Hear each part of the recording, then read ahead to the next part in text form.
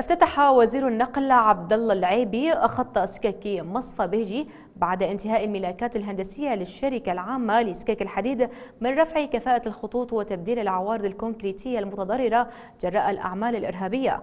وقال العيبي أن الوزارة باشرت بتسيير قطارات لنقل المسافرين وكذلك المشتقات النفطية من محطة مصافي بيجي التي تعد من أضخم المحطات في الشرق الأوسط.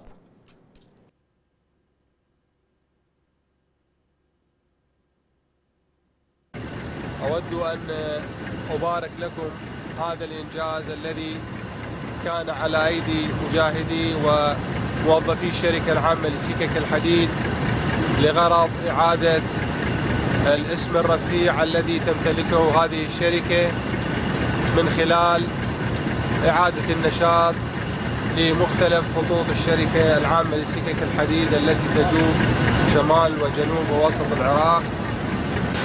اليوم بعد أن كانت سكك الحديد حقيقة معطلة ولا تصل إلى أكثر من شمال بغداد بعدة كيلومترات وربما آه، استطعنا بفترة آه، متأخرة أن نصل إلى سامراء اليوم وصلنا إلى بيجي وهذا يعتبر خطوة إلى الأمام ستعقبها الخطوة الأخرى والتي وجهنا سكك الحديد منذ اليوم بالعمل عليها وهي الوصول إلى القيارة ومن ثم إلى الموصل الحذباء في ذات الوقت هناك عمل متزامن يجري داخل أرصفة وموانئ آه، البصرة لغرض مد سكك حديد إلى موانئنا وأرصفتنا النفطية والموانئ والأرصفة التجارية.